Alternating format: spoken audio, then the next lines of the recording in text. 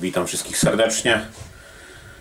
Ech, Dzisiaj krótki matera, materiał z odpowiedziami na Wasze pytania z Facebooka, które na naszej grupie Morel Team Loft Poland e, zadawaliście.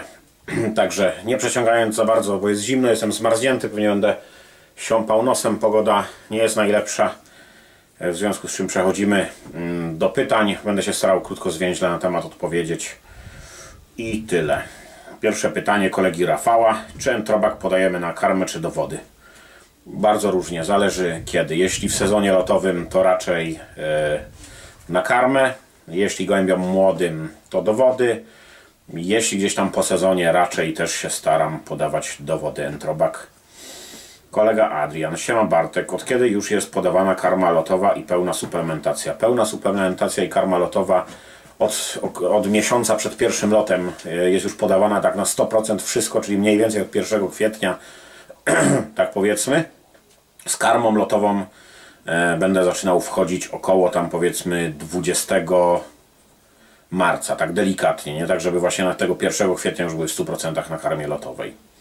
Łukasz, czy w sezonie lotowym używasz Avidres? Jak tak, to ile dni w tygodniu?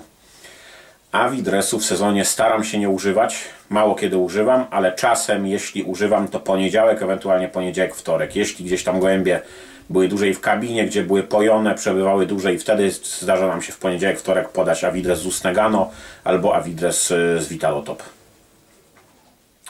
Michał, jeden topowy produkt, bez którego nie wyobrażasz sobie prowadzenia hodowli. No myślę, że jeśli chodzi o hodowlę całą poza sezonem lotowym ogólnie, no to myślę, że właśnie Avidres Plus. Monika, czy dostanę w końcu ten kubek? Czas się... Przekonamy się z czasem, szefowo, czy będziesz grzeczna. Mm, Marek, kiedy zaczynasz kurację na drogi oddechowe Atemfrey i Avimycyn? No jak już jesteśmy teraz w drugim, trzecim chyba tygodniu oblotów, takiego wypuszczania, są to obloty, że te gołębie krążą teraz powiedzmy tam 5 minut dosłownie i wchodzą do środka. Myślę, że tak na poważnie przed pierwszymi treningami zaczniemy, zrobi, taką kurację, czyli jest to też około tam miesiąc przed, y, przed lotami powiedzmy. E, Gdzieś tam końcem marca myślę zaczniemy mm, podawać tą kurację Atem Frejawimycyn około 7 do 10 dni. E, I pod koniec tej kuracji, jeśli pogoda będzie, jeśli gołębie będą rozlatane fajnie, to zaczniemy myśleć o jakichś tam wywózkach. Arkadiusz, czy podajesz tabletki z białkiem gołębiom, które wracają z lotu wyczerpane lub spóźnione? Nie podaję tabletek e, kaka protein, bo o te pewnie pytasz, nie podaję w ogóle tabletek. e, Nie uważam, albo inaczej, po prostu raczej te dobre gołębie się nie spóźniają na tyle. E, I nie chcę ingerować w tak indywidualne podnoszenie gołębi, ponieważ uważam, że liczy się bardziej całe stado niż pojedyncza jednostka. Pojedyncza jednostka, niż jednostka po prostu. E, Dlatego no, nie podaję, nie suplementuję gołębi indywidualnie, nie podaję żadnych tabletek ani przed, ani po locie indywidualnie gołębiom.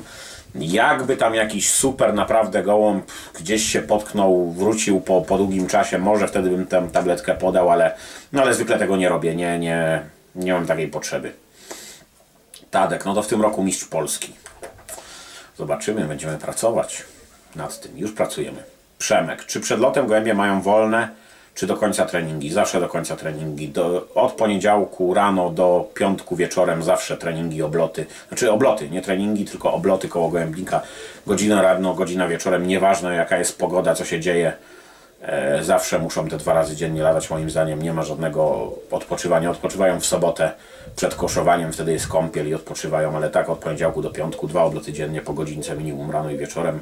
Nawet jak deszcz pada, nie ma taryfy ulgowej.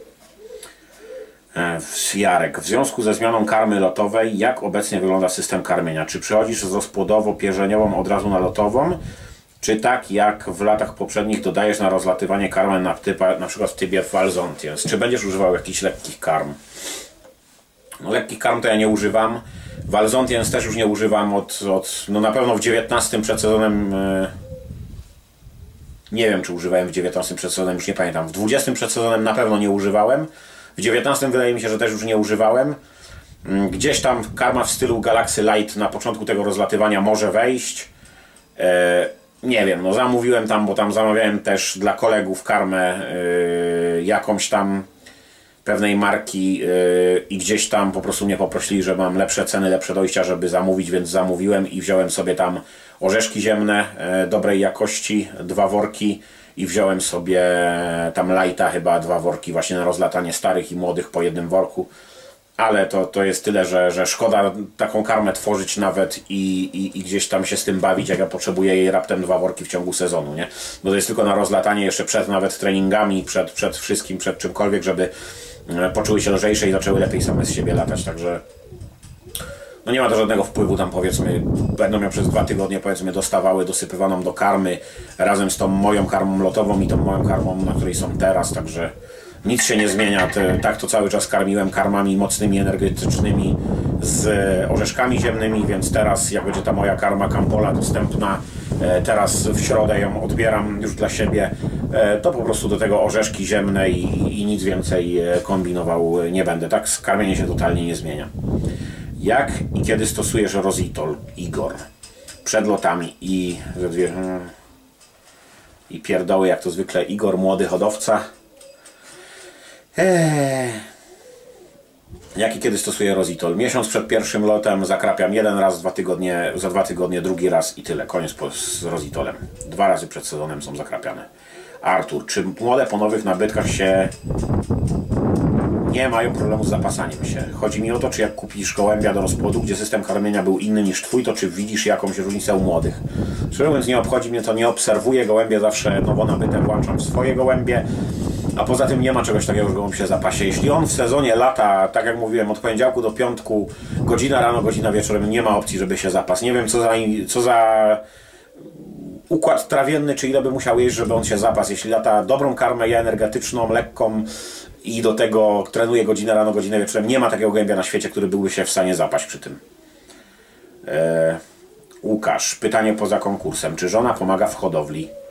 No, mówiłem o tym, pomaga. Teraz akurat się spodziewamy narodzin potomka, następcy wreszcie męskiego e, na, na wakacje, więc no, siłą rzeczy nie pomaga teraz e, w sprawach takich, że tak powiem, fizycznych, jak jakieś tam e, czy sprzątanie, czy, czy, czy zawsze miło pomagała myć te pleksy w gołębnikach, te poliwęglany, gdzieś tam skórzu i tak dalej, miski, pojniki, no miski, pojniki ogarnęła w zimę po prostu wcześniej, bo wiedzieliśmy jaka jest sytuacja, nie zaskoczyło nas to, no natomiast resztę teraz muszę sobie sam wszystko robić, bo, no bo żona wiadomo, no jest w stanie w jakim jest, więc nie może, ale gdzieś tam właśnie internetowo i, i tak dalej, mailowo i, i tym podobne to często, to ona właśnie odpisuje, to ona tam coś wrzuca filmiki, a mi się to też totalnie ona zajmuje, także jak najbardziej. Rodowody jak e, robi i, i, wysyła, to też wszystko moja żona, ja się papierologią nie interesuję, nie zajmuję. E, pro, w programie uzupełnia też wszystko ona, bo ja po prostu jestem stworzony fizol do szpachelki, ja nienawidzę siedzieć przed komputerem i wklepywać gdzieś tam gołębi i takich różnych rzeczy. Przerasta mnie to. Ja mam wrodzone ADHD, muszę być w ruchu, w biegu, gadać, latać i no totalnie nie, nie umiem usiedzieć przed komputerem, także wszystkimi takimi rzeczami się ona zajmuje, czy jakimiś rzeczami urzędowymi, papierowymi, to typowo e, ja tam powiedzmy gdzieś tam swoją wiedzą doradzam i tak dalej, ale fizycznie wszystkimi takimi rzeczami się zawsze żona zajmuje. Piotr, jak typujesz gołębie do serii na loty krótkie i maratony? Jeśli chodzi o gołębie dorosłe, już kiedyś ten temat był poruszany, to po prostu typuję, wiadomo, że przed sezonem robię jakieś tam treningi, nie ma ich na stare dużo, bo to jest 4, między 4 a 6 treningów, zależy jak tam się gołębie rozlatują, jak wszystko wchodzi.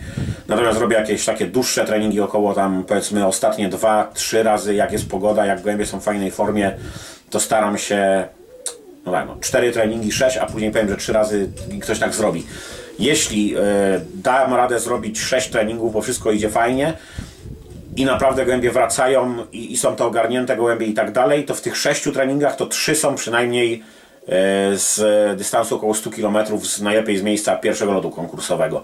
Jak tych treningów zrobię tylko 4, no to wiadomo, tam jest maksymalnie jeden, wtedy taki 100 km, ale staram się, żeby to było bardziej też 6 i żeby tam były 2-3 te długie treningi 100 km. Zegar zawsze jest podłączony i po prostu zawsze, z, e, zawsze wybieram taką pogodę, żeby był gdzieś boczny wiatr albo pod wiatr. Wypuszczam te głębie nie z samego rana, tylko 9-10, żeby słoneczko przygrzało. Wtedy te gębie zawsze się rozerwą. Zawsze wyjdą jakieś dysproporcje, nawet dwie minuty jedne drugie wyprzedzą. I wtedy po prostu wybieram te, które wpadają trzy razy w pierwszej grupie.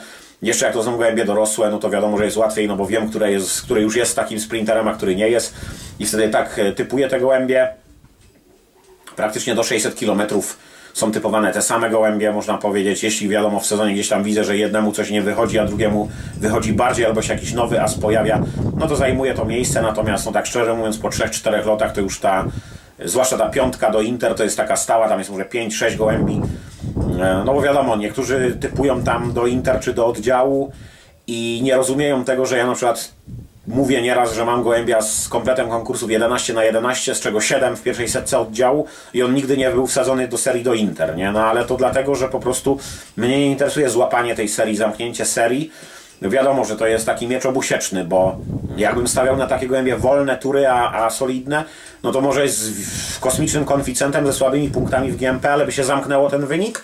No a jak stawiam na te sprintery, to często jest tak, że zamknę, dajmy na to 15 konkursów w Inter na, tak jak w zeszłym roku, na 240 czy 250, a brakło z maratonu, tak? Yy, czy, czy w GMP tak samo. Brakło jednego konkursu, gdzie wynik też był kapitalny, no ale brakło tego konkursu z maratonu. Natomiast uważam, że brakło przez niedoświadczone stado jeszcze i, i, i to, że my na tych długich lotach dopiero gdzieś tam zaczynamy sobie e, coś walczyć, a nie przez to, że, że po prostu tam typowanie było złe czy coś. No wiadomo, tam trochę z Winter zawaliłem, ale to też na jednym filmie omawiałem.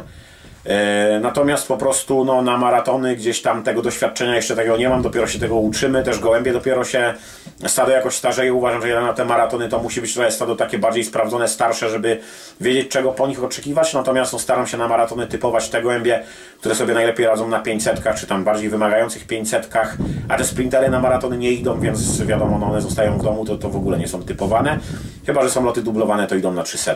Natomiast tak jak mówię, no Raczej są to stałe gołębie, które typuję i, i jak już widzę, że są w formie i fajnie lecą, to staram się tej serii typowanej praktycznie nie zmieniać. Nie? W tym roku Inter robiło 5-6 gołębi, e, jedynie na maratony, mówię, są inne gołębie typowane. GMP tak samo, cały czas praktycznie tam może było 12 gołębi e, i z nich się te 10 wybierało. No, kurczę, na każdej hodowli świata nie ma tak, że masz 40 takich samych równych gołębi, tylko tych naprawdę takich szpicerów, tych takich, co mogą otworzyć oddział, to jest raptem regularnie otworzyć oddział, bo ja nie mówię, że tam pozostałych trzymam 90 gołębi, z czego tak naprawdę tylko 10 jest y, dobrych, tak? Tylko, że po prostu to muszą być gołębie, które regularnie to robią. To nie to, że on strzeli raz czy trzy razy nawet w sezonie w, w, w 50 oddziału, no co ci po tym, jak ciężko ci będzie trafić, żeby on akurat wtedy usiadł, kiedy ty go zatypujesz. Dlatego no to muszą być gołębie takie naprawdę, które regularnie idą po szpicy i wiadomo, one też czasem się przewiozą, tak jak choćby Tor, tak?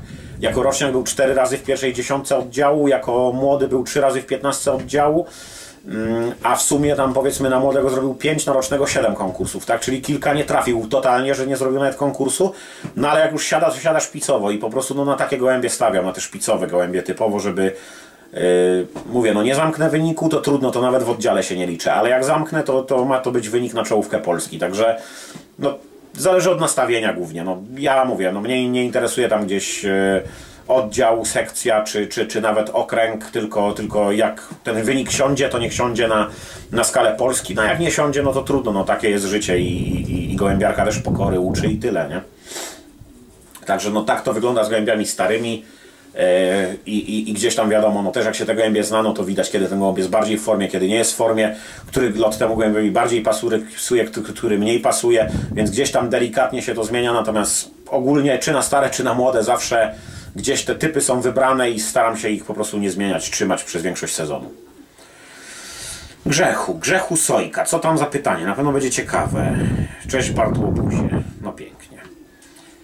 E, wymień dwa niezbędne suple, bez których e, nie wyobrażam sobie hodowli. No tak jak mówiłem, no to jeden, a drugi Usnegano wydaje mi się. Usnegano i Avidres. Ewentualnie jakieś aminokwasy jeszcze. Beta-amin w sezonie lotowym, a Avifarm w rozpłodzie. To są takie trzy powiedzmy środki, bez których sobie nie wyobrażam e, hodowli gołębi ogólnie. Tomek, czy już w tym roku zostaniesz mistrzem Polski, czy dopiero w przyszłym? O. Zobaczymy, no bardzo bym chciał, może nie aż tak mistrzem Polski, chciałbym, żeby te wyniki po prostu były w kilku kategoriach bardzo wysokie, tak? Czy to będzie mistrz Polski? Wiadomo, byłoby fajnie, no bo to jest jakiś tam tip. Natomiast bardziej by mi zależało, żeby być w kilku kategoriach gdzieś tam wysoko, żeby to stado było równe, mocno siadało na kilku kategoriach i po prostu żebyśmy gdzieś tam, e, no przynajmniej w kilku kategoriach byli naprawdę wysoko w czołówce Polski. Ta pierwsza dziesiątka to już jest myślę taki fajny pułap, bo później między tym dziesiątym a pierwszym miejscem tak naprawdę nieraz to trochę szczęścia, trochę jakiegoś tam układu dobrego yy, i, i, i, i może wyjść fajnie. Także wiadomo, no, chciałbym, tym bardziej, że ostatnio się wszystko zmieniło przez tego COVID-a e, zakichanego że, że no tak jak widzicie siedzę cały czas w domu na okrągło, nie ma wyjazdów, jakoś sobie tam radzę, nie mówię, że nie, nie mogę narzekać, bo, bo i na Azję coś idzie i, i na Stany też gołębie idą i jest fajnie, wszystko ok, wszystko gra, dzięki pomocy też naszych agentów, czy, czy w Stanach, czy w Chinach i nie ma co narzekać, no natomiast no nie wyjeżdżamy, więc też jakiś tam obrót jest tym mniejszy, więcej trzeba się na polskim rynku skupić, a tu w Polsce jednak, e, no wiadomo, każdy gdzieś tam patrzy na te Mistrzostwa Polski, też drugi rok z rzędu jesteśmy w dziesiątce Mistrzostw Polski, więc jak najbardziej nie ukrywam, że gdzieś tam się ta optyka mojego patrzenia na to Mistrzostwo Polski zmieniła. Mm, biznes do tego, świat do tego trochę zmusił, także no fajnie by było gdzieś tam stanąć na tym pudle czy na najwyższym szczeblu e, podium. Wiadomo, że pracuję na to ciężko, tak samo jak gołębie do reprezentacji też, też mówię, no jest kilka gołębi z mega wyjściówkami na ten rok. Oby je kontuzje omijały Jastrzębie i, i żeby się fajnie wkręciły w sezon, może się coś uda wygrać na leto przed sezonem to, to jest bardzo dużo teraz na forach i, i na Facebooku wszędzie ludzi, którzy dużo e, tam szczekają, ale poczekajmy na sezon, sezon wszystko wyjaśni. Dawid. Cześć Bartek. Przy, pytanie, jak przygotowujesz gołębie przed sezonem lotowym? Czy pomiędzy lotami widzisz jakiegoś lub jakieś gołębie słabsze, to czy idą na lot? Wszystko leci, czy są jakieś wyjątki? Jak przygotowuję do sezonu, to może nie będę omawiał, bo to temat rzeka. Trzeba obserwować tam resztę. Yy kanału, inne filmy, tam dużo jest powiedziane. Natomiast fajne pytanie z tymi gołębiami, czy wszystko leci, czy nie. Powiem tak, yy, raczej się staram, żeby wszystkie gołębie leciały od 100 do 600 km. Te szybkie gołębie nie idą na maratony, idą na duble 300, a te wolne gołębie, które nie robią tam pozycji top 50 na oddział jakichś tam regularnych, to idą na maratony, nie? I w tym roku dość dużo pewnie tych gołębi pójdzie na maratony, bo no wiadomo, im lepszy sezon i im lepiej jest, więcej jest tych wybitnych gołębi, tym poprzeczka jest wyżej zawieszana i tym więcej gołębi będzie szło na maratony.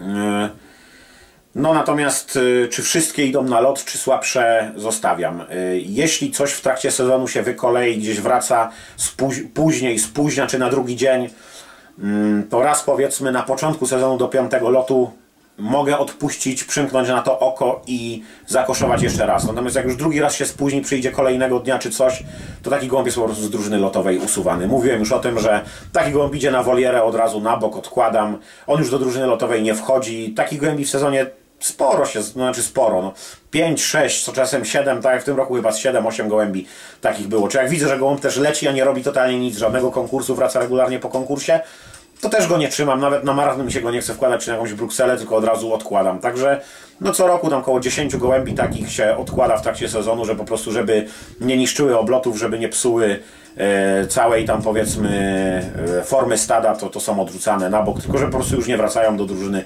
są na koniec sezonu usuwane. Marcin.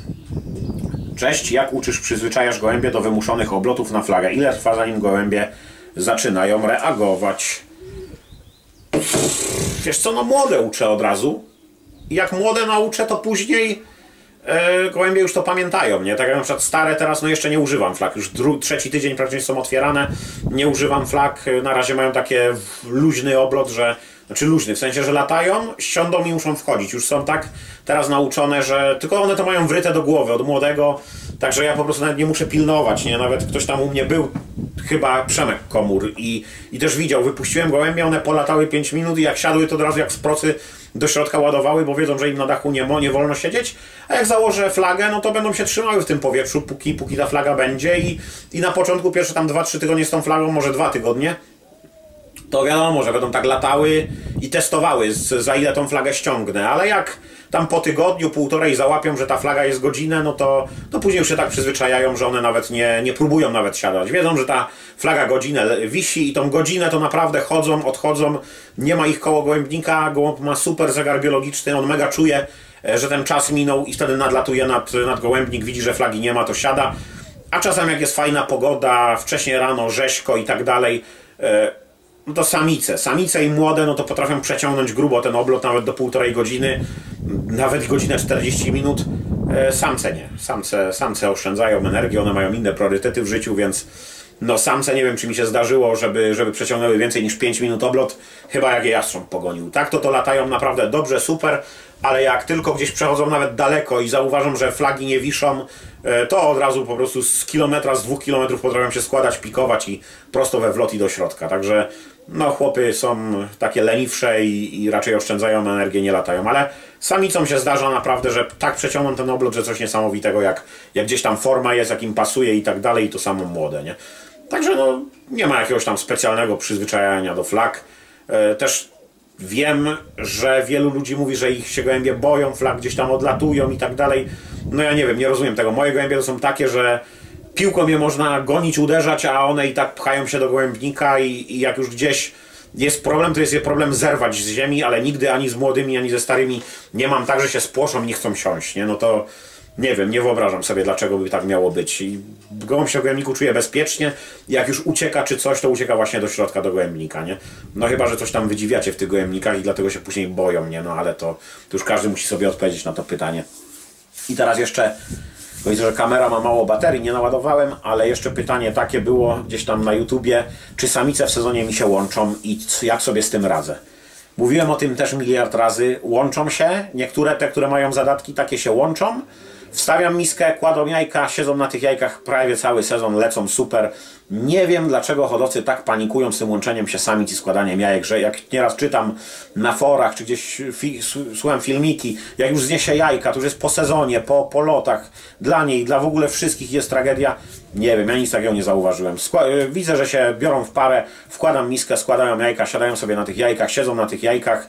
Moja Jakuza, która w tym roku jest 19 lotniczką Polski w kategorii. Samica, która jako roczna zrobiła 8, w tym roku jest 9 konkursów na 10 lotach. I to z tego ma tam, nie wiem, chyba z 11 czy 12 w setce oddziałów zrobionych. Siedzi na jajkach, jest zdeklarowaną lesbą, po prostu siedzi na jajach e, cały czas, e, od początku sezonu praktycznie przez cały sezon i jest jednym z najlepszych gołębi. Regularnie do Inter idzie, no, no, no regularnie, na, na te loty do, do 600 km cały czas jest w piątce do Inter wkładana i rewelacyjna samica. Jej partnerka to jest masakra, samiczka liczona do y, B kategorii, nawet tutaj o, rzucimy okiem. Mam taki plakat zrobiony z tą drużyną AB kategorii, także jak widzicie y, ta ciemna stra na dole w prawym dolnym rogu to jest właśnie ona i to są, i to jest po prostu para samic, nie? Ta samiczka do B kategorii liczona do mistrza okręgu Śląsk Wschód. No i nasza Jakuza 19 lotniczka Polski w A kategorii z dwóch lat. To są dwie partnerki, które są regularnie ze sobą złączone. Tu jest nasza Ultra, jest liczona do B i do C i, i jeden z lepszych gołębi w oddziale w H kategorii i tak samo też yy, nie paruje się może aż tak wcześnie, ale też regularnie jest yy, sparowana z samicą. Tylko, że ona gdzieś tam zwykle końcem sezonu, gdzieś koło 9-10 lotu się paruje Ultra, a, a te dwie pozostałe to te, te Masakra i Yakuza odroczne i tak robią, że cały czas się parują razem i one przed sezonem już się potrafią sparować, czy zaraz po drugim locie zniesie jajka. Chociaż ja wolę jak się sparują już przed sezonem i zniosą te jajka, bo wtedy cały sezon mam z głowy.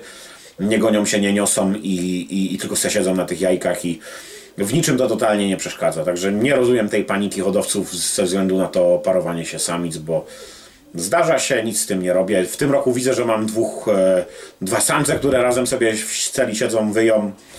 Nie wiem, no może dlatego, że ja te, w tę motywację nie wierzę, moje gołębie nie znają motywacji, im to też nie przeszkadza. Różnie, różnie na to można patrzeć. Także dobra, kończymy, bo się zaraz nam padnie yy, kamera. Także tyle. E, będziemy w tym tygodniu w Kampolu odebrać tą karmę naszą lotową, to może coś tam się uda też e, w Kampolu nagrać. Zobaczymy. Jak nie, to w weekend wlecimy z nowym może jakimś materiałem i, i tyle. W rozpodzie się gołębie zaczynają kluć, więc e, no też fajnie do końca tygodnia myślę wszystko będzie wyklute, także no zaczyna się zabawa na całego sezon, też się zbliża. O, w tym tygodniu jeszcze coś tam nowego do hodowli wpadnie, nowy gadżet ale o tym może już na następnym filmie. Także wszystko. Dziękuję bardzo.